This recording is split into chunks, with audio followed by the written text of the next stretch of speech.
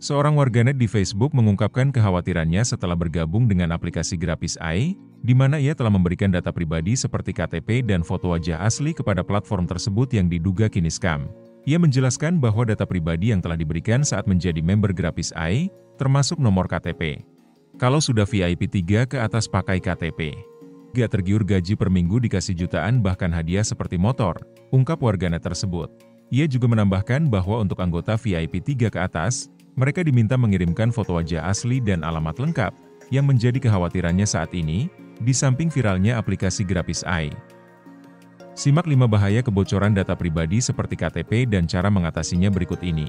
5 bahaya kebocoran data pribadi, dirangkum dari berbagai sumber, berikut adalah 5 bahaya kebocoran data pribadi yang harus diwaspadai.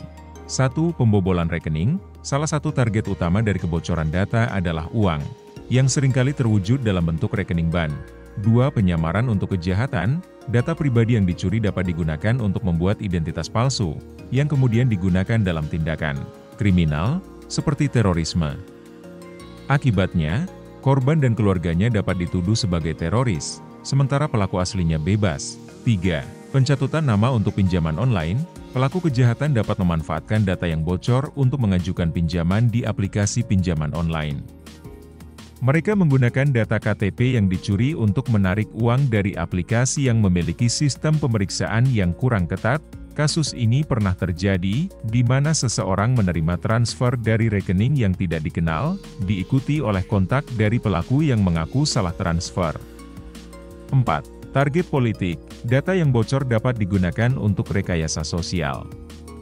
Ini termasuk pemetaan dukungan politik berdasarkan demografi, hobi, dan lokasi, yang bisa dimanfaatkan untuk sosialisasi politik. 5. Penyalahgunaan bantuan sosial, NIK dan KTP digunakan untuk mendata penerima bantuan sosial, seperti subsidi LPG 3 kg. Oknum dapat menyalahgunakan ini dengan meminjam KTP orang lain untuk mendapatkan bantuan secara tidak sah. Cara mengecek KTP disalahgunakan untuk pinjol. 1. Pengecekan melalui Slik OJK, Anda dapat memeriksa apakah KTP Anda digunakan untuk pinjaman online, pinjol, dengan mudah secara online. Siapkan dokumen pendukung seperti KTP, foto diri, dan foto diri dengan KTP. Akses situs https://idemku.ojk.go.id atau unduh aplikasi Idemku OJK. 2. Pengecekan offline. Jika lebih suka cara offline, Anda bisa datang langsung ke kantor OJK terdekat untuk memeriksa apakah KTP Anda telah disalahgunakan.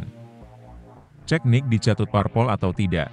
Untuk mengecek apakah NIK Anda dicatut sebagai anggota partai politik, Kunjungi situs resmi https://infopemilu.kpu.go.id.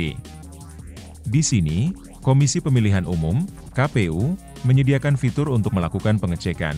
Jika nama Anda ternyata dicatut, Anda bisa melaporkannya melalui https://helpdesk.kpu.go.id tanggapan. 5 cara melaporkan pencurian data pribadi, dilansir dari laman AFPI or ID. Berikut adalah lima cara melaporkan pencurian data pribadi yang dapat dilakukan oleh masyarakat jika mengalami hal tersebut. 1. Hubungi call center. Laporkan ke bank penerbit rekening jika data perbankan dicuri. Telepon call center dan kunjungi kantor cabang untuk pengecekan lebih lanjut. 2. Lapor ke e-commerce dompet digital. Segera hubungi perusahaan jika saldo hilang. Isi formulir yang dikirim melalui email untuk pemulihan akun dan dana. 3. Lapor ke polisi, jika uang di rekening hilang atau ada transaksi tidak dikenal, laporkan ke polisi agar diusut sesuai UU Nomor 11 Tahun 2008 yang menjadi dasar penanganan kejahatan siber. 4.